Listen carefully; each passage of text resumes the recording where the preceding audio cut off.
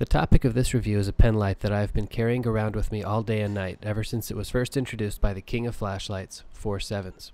The Preon 2 is powered by a Cree XP-G LED, which is, in turn, powered by a microchip that regulates the brightness. You can select several different brightness levels by half-clicking the button on the base. If you want to get fancy, you can click it several times and get into a nice-to-have but practically useless modes, such as strobe, SOS, etc. Flashlight self-defense advocates beware, it does take several clicks to get to either the high or the strobe mode. The light is smooth, durable, waterproof, very professional looking and fits well into a shirt pocket. Runtime is very good due to the very efficient LED, running for almost a day at bright enough to read something 4 feet in front of you, and running for just under an hour at the too bright setting. Too bright is very very impressive for a light this size, especially one that takes AAA batteries.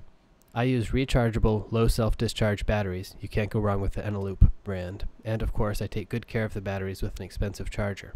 You don't need to make the extra investment, but I like being able to use the light without worrying about the cost of batteries. I have links to the flashlight, batteries, and charger below. Thanks for your time.